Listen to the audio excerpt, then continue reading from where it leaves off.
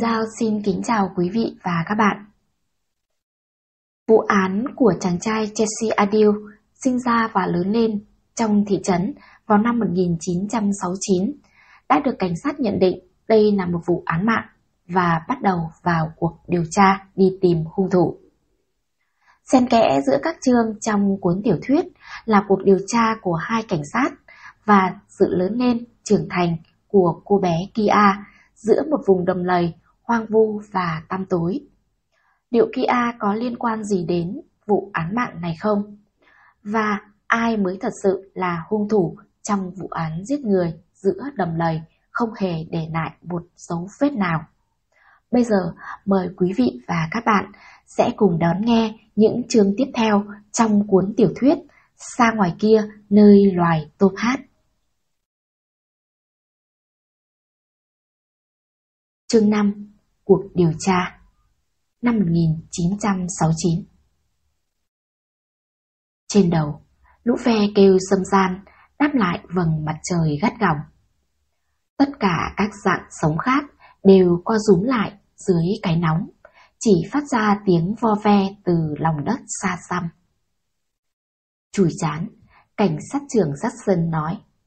Ven, ở đây còn nhiều việc để làm nhưng vậy có vẻ không phải lắm.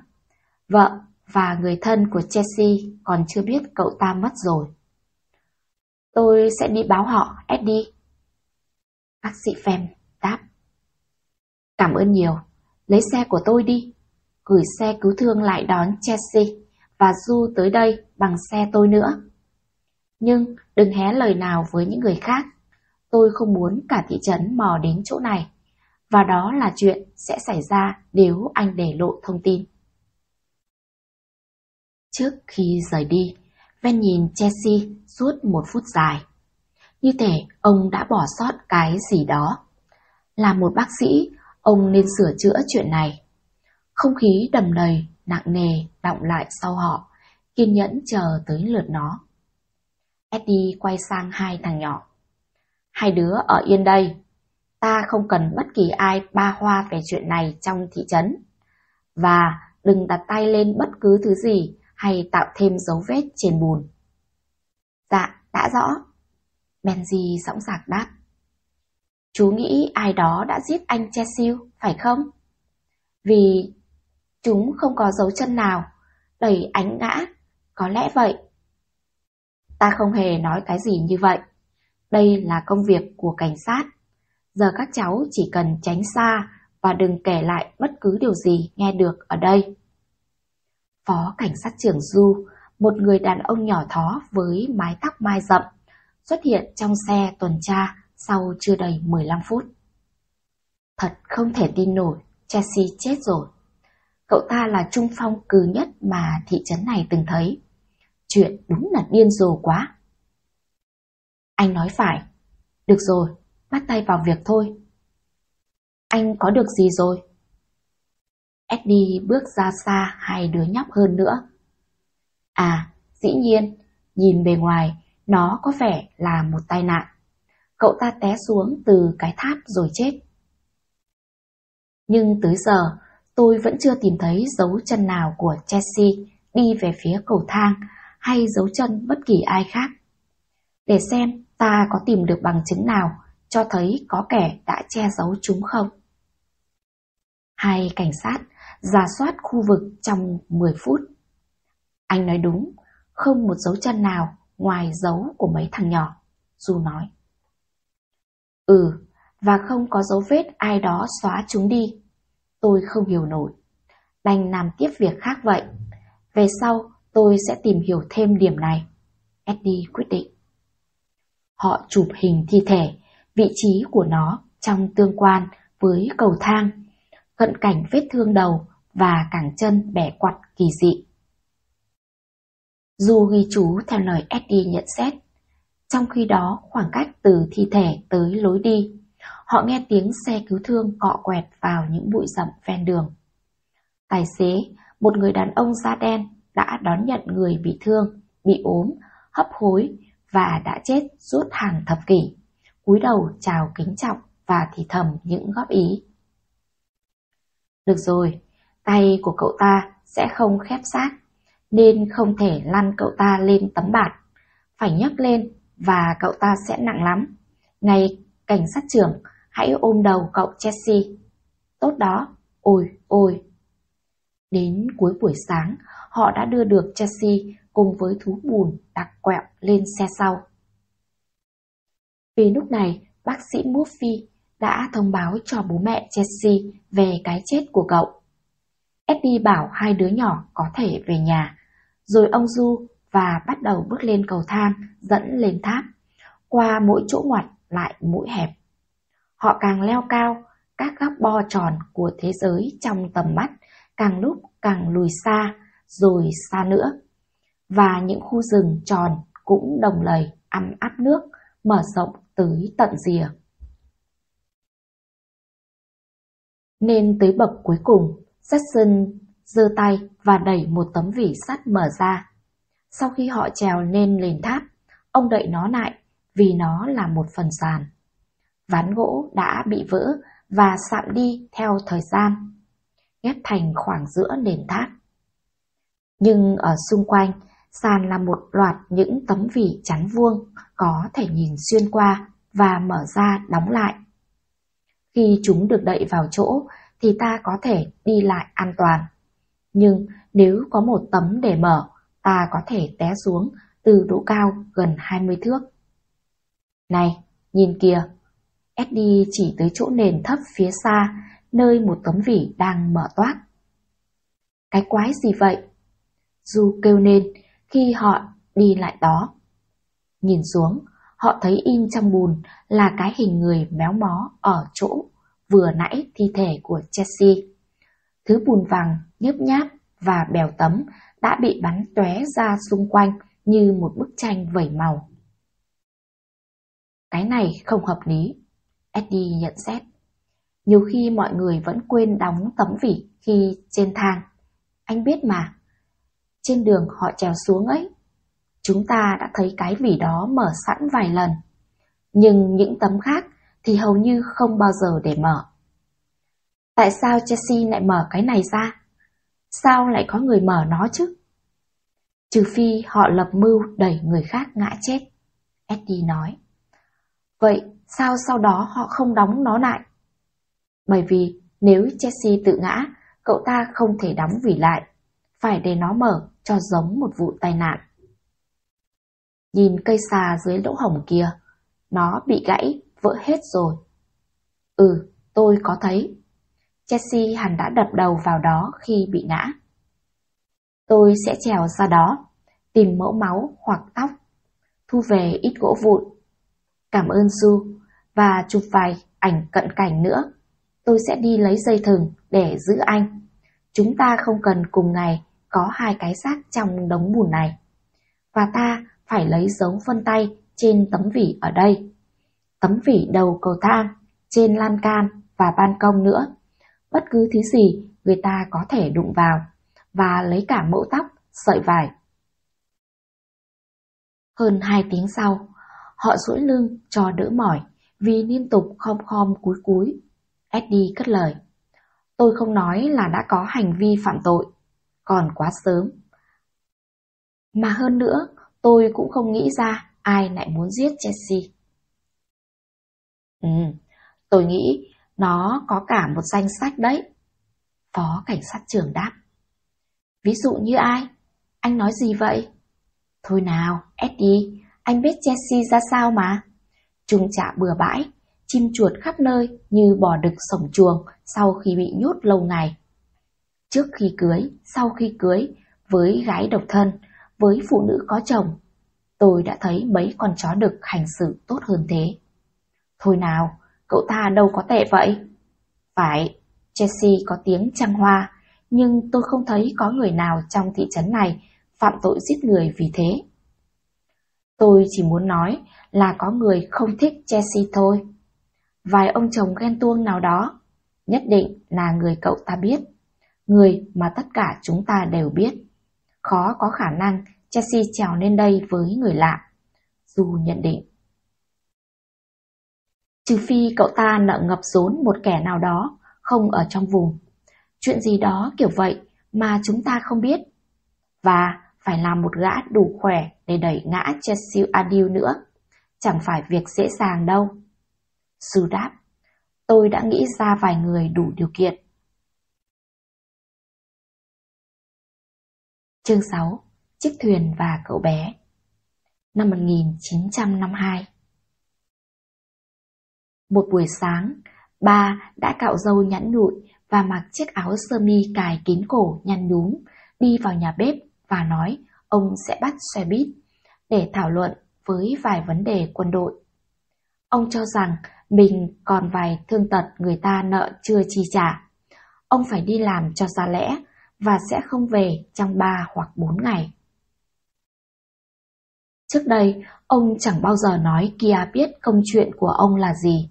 Ông đi đâu hay chừng nào ông về nhà. Thế nên, đứng đó trong bộ quần yếm ngắn cũn, con bé trợn mắt nhìn ông, im thiên thít. Tao tin chắc, mày điếc và đần như tất cả mấy đứa dở hơi. Ông nói, để cánh cửa hiên đằng sau đóng sập lại. Kia nhìn ông lê bước trên lối mòn, chân trái quạt sang bên rồi ra trước. Mấy ngón tay nó bấu chặt vào nhau. Có lẽ tất cả bọn họ đều sẽ rời bỏ nó, từng người một mất hút cuối lối nhỏ này. Khi ba tới đường cái và bất thần nhìn lại, nó vung tay lên và vẫy thật mạnh. Một cố gắng để níu giữ ông, ba giơ tay lên trong động tác chào nhanh, kiểu như muốn gạt đi. Nhưng vậy vẫn là một cái gì đó, vẫn nhiều hơn việc má đã làm. Từ nhà, con bé lững thững bước ra phá, nơi nắng sớm bắt đầu. Ánh nắng lấp lánh trên hàng trăm núi cánh chuồn chuồn. Những cây sồi và bụi cây dày bao quanh khoảng nước sâu, trùm lên nó bóng tối như hàng động. Và con bé dừng lại khi thấy thuyền của ba buộc bập bềnh ở đó. Nếu Kia đi thuyền vào đồng lầy và bị ba phát hiện, ông sẽ quất nó bằng dây nịt hoặc bằng mái chèo ông để bên cửa hiên. Cái gậy chào đón Jody gọi vậy. Có lẽ khao khát vươn xa xa đã kéo con bé về phía chiếc thuyền. Một xuồng máy bằng kim loại, đáy phẳng, sáng cong lên mà ba dùng đi câu cá.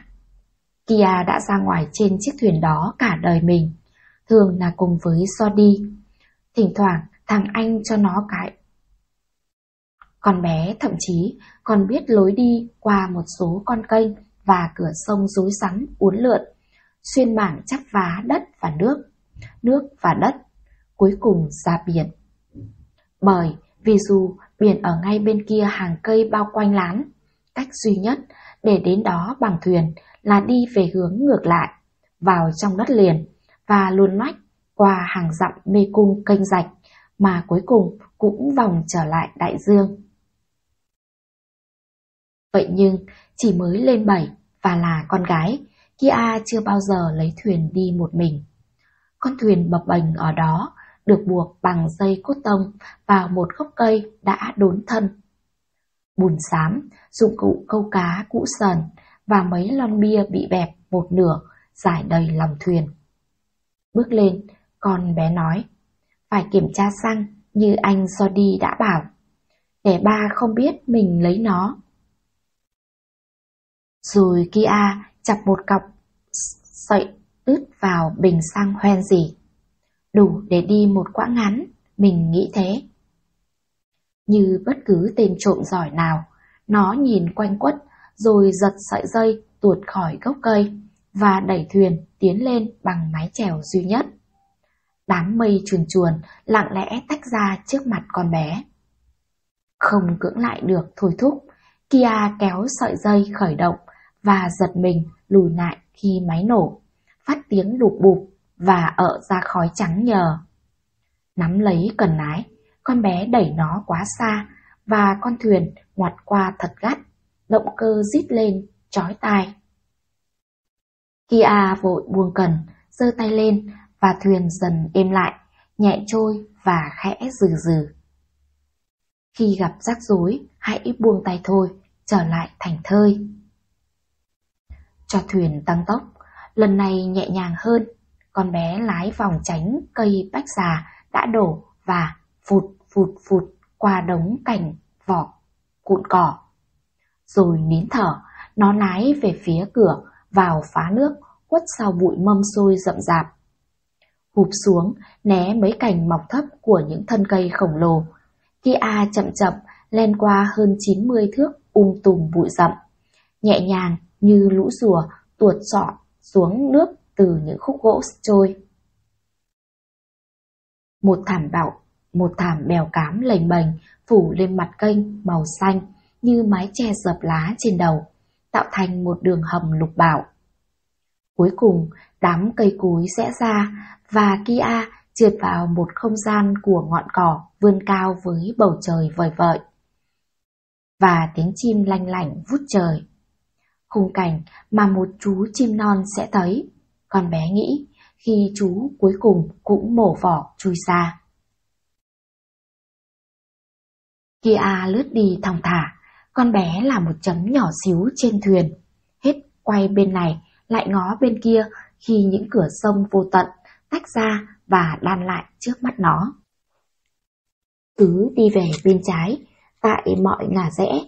Jody đã dặn, con bé gần như không đụng vào cần lái, đưa thuyền trôi nhẹ trên nước. Để tiếng động phát ra thật nhỏ. Khi nó vòng qua một đám sậy, một chú hươu cái đuôi trắng với đứa con mới sinh, dịp xuân rồi đang đứng tấp nước. Đầu chúng ngẩng phát lên, vẩy những giọt nhỏ qua không khí. Kia không dừng lại, vì thế thì chúng sẽ bỏ chạy.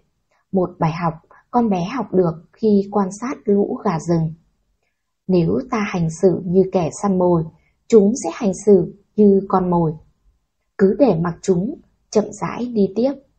Nó lững thững trôi qua và mấy chú hươu đứng im như cây thông cho đến khi Kia biến mất sau lùm cỏ nước mặn. Con bé đi vào một nơi có những phá nước tăm tối, nơi thắt lại của rừng rồi, và nhớ rằng có một con kênh ở phía xa chảy ra một cửa sông rộng lớn. Vài lần con bé đụng phải ngõ cụt, phải quanh về để đi ngả khác. Nó ghi lại hết những cột mốc trong trí nhớ để có thể trở lại. Cuối cùng, cửa sông phơi ra phía trước mắt con bé. Mặt nước trải dài, mênh mông đến nỗi nó thâu hết cả bầu trời và mọi đám mây. Chiều đang rút dần, con bé biết vậy nhờ đường mép nước dọc bờ kênh.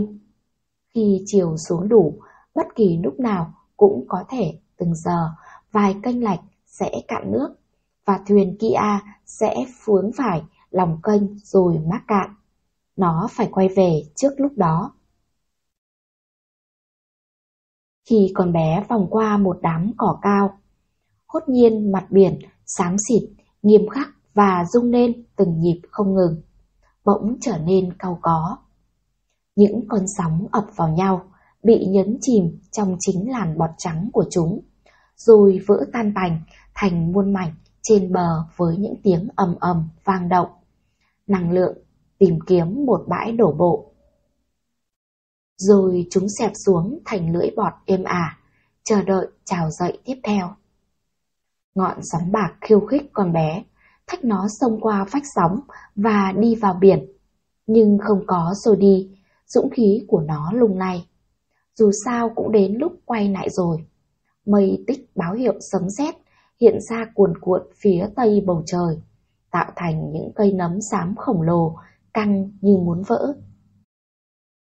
Không có người nào nữa, chẳng có cả những tiếng thuyền thấp thoáng xa xa, nên thật ngạc nhiên khi nó trở lại cửa sông và thấy ở đó, gần bụi cỏ đồng lầy, là một cậu bé ngồi câu trên một chiếc xuồng tả tơi khác. Đối con bé đi qua sẽ chỉ cách cậu sáu thước. Lúc này, mọi thứ ở Kia đều toát lên cái vẻ đứa trẻ đầm lầy. Óc bị gió thổi rối bời, má bếp bụi loang lộ vệt gió. Hết xăng hay gặp bão cũng không làm con bé hoảng như gặp người lạ, đặc biệt là con trai. Má đã dặn mấy chị của nó coi chừng bọn họ. Nếu ta trông có vẻ hấp dẫn, họ sẽ biến thành dã thú. Mím môi lại thật chặt, còn bé nghĩ, mình làm gì bây giờ? Mình phải đi qua xác anh ta. Từ khóe mắt, Kia thấy cậu bé nọ khá gầy, những sợi tóc xoăn vàng nhét dưới chiếc nón bóng chảy đỏ. Lớn hơn nó, 11 tuổi, có lẽ 12. Mặt con bé nghiêm lại khi tới gần đó, nhưng cậu mỉm cười với nó, ấm áp và cởi mở. Tay chạm lên rìa nón như quý ông chào một quý cô xinh đẹp, vận đầm dài trang trọng và đội bonnet. Kia gật đầu nhẹ nhẹ, rồi nhìn về phía trước, đẩy cần gạt tăng tốc và đi qua cậu. Tất cả những gì con bé nghĩ được lúc này là trở lại vùng quen thuộc. Nhưng chắc hẳn ở đâu đó nó đã rẽ sai đường. Và khi đến chuỗi phá nước thứ hai, nó không tìm thấy con kênh dẫn về nhà nữa. Chạy vòng vòng, gần sát những cây sồi với bụi hương đào. Con bé tìm mãi miết, cảm giác hoảng hốt chậm chậm dâng lên. Bây giờ bờ cỏ, bãi cát và khúc quanh trông giống hệt nhau. Kia tắt máy và đứng lên ngay giữa thuyền, giữ thăng bằng với hai chân dang rộng, cố gắng nhìn qua đám sậy nhưng không được. Nó ngồi xuống, lạc lối, rối bời, sắp hết xăng, bão đang tới. Trộm mấy từ của ba, con bé rủa anh nó vì đã bỏ đi. Chết tiệt, cho đi, xịt ra nửa rồi té vô đó đi, anh cứ xịt ra nửa rồi té vô đó. Con bé thút thít một tiếng khi chiếc thuyền trôi trên dòng chảy nhẹ.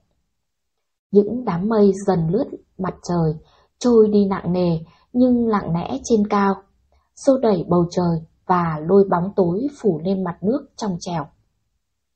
Bão có thể tới bất cứ lúc nào. Tệ hơn nếu Kia lang thang quá lâu. Bà sẽ biết nó lấy thuyền, con bé tiến về trước, có lẽ nó có thể tìm cậu trai nọ. Vài phút đường lạch đưa tới một khúc quanh và cửa sông ở ngay phía trước. Bên kia là cậu bé trên thuyền. Bầy diệp bạc bay vút lên, một hàng những lá cờ trắng chấp chới trên nền mây xám cuồn cuộn. Kia ghim ánh mắt vào cậu, sợ tới gần, cũng sợ không tới. Cuối cùng, con bé băng qua cửa sông. Cậu ngẩng đầu nhìn nó rồi tiến lại. Chào, cậu nói. Chào. Con bé nhìn qua vai cậu, vào đám sợi Nhóc đi đâu vậy? Cậu hỏi. Không phải ra biển, anh hy vọng thế, bão đang tới. Không. Nó đáp, nhìn xuống nước. Nhóc có sao không? Cổ họng con bé nghẹn lại, chặn tiếng thổn thức. Nó gật đầu nhưng không nói lên lời. Nhóc bị lạc hả? Nó gật lần nữa, sẽ không khóc như một đứa con gái. Ừ, anh cũng lạc suốt. Cậu nói và mỉm cười. Này, anh biết nhóc. Nhóc là em gái của Jody Knack. Đã từng thôi, anh đi rồi. Ừ, nhưng nhóc vẫn là em của... Rồi cậu bò lửng câu nói. Làm sao anh biết em? Con bé ném một cái nhìn nhanh, thẳng vào mắt cậu. À, anh từng câu cá với Sodi vài bận. Anh có thấy em mấy lần. Lúc đó em nhỏ xíu, em tên Kia phải không? Có người biết tên nó. Con bé ngạc nhiên, cảm thấy được neo vào chỗ nào đó và được giải phóng khỏi cái gì đó. Dạ, anh biết nhà em. Đường về từ chỗ này. Anh nghĩ mình biết, dù sao cũng tới giờ rồi. Cậu gật đầu về phía những tảng mây. Đi theo anh. Cậu thu dây câu, cất đồ vào hộp, rồi nổ máy thuyền mình. Vừa băng qua cửa sông, cậu vừa vẫy vẫy, và con bé lái theo. Cho thuyền chạy chậm, cậu tiến thẳng về con kênh bên phải, ngoái nhìn để đảm bảo Kia có sẽ theo và tiếp tục đi tới. Ở khúc quanh nào, cậu cũng làm vậy, cho tới chỗ phá nước cây sồi. Khi cậu đi vào con kênh mờ tối, hướng về nhà con bé, Kia nhận ra chỗ nó đã sẽ nhầm và chẳng bao giờ phạm sai lầm đó nữa.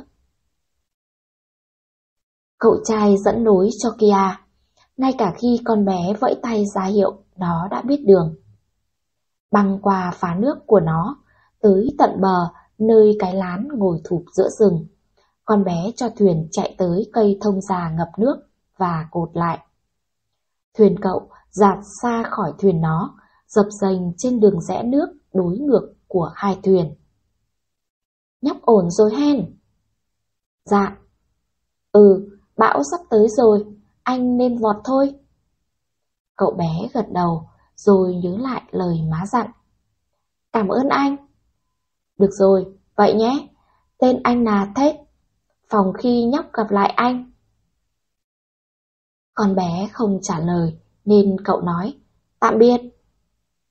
Khi cậu trai đi xa, mưa chậm rãi, rớt hạt lộp đột lên bờ phá, và Kia nói, trời sẽ mưa xối xả ếch bò, cái anh đó sẽ ướt nhẹp. Con bé cúi xuống bình xăng và chọc vào đó một cọng sợi làm que đo. Không quên trụng tay che miệng bình để nước mưa không nhỏ vào. Nó có thể không biết đếm tiền, nhưng vẫn biết chắc là không thể để nước lọt vào xăng. Xăng thấp quá, bà sẽ biết. Mình phải vác một cái bình tới sinh oi trước khi ông về.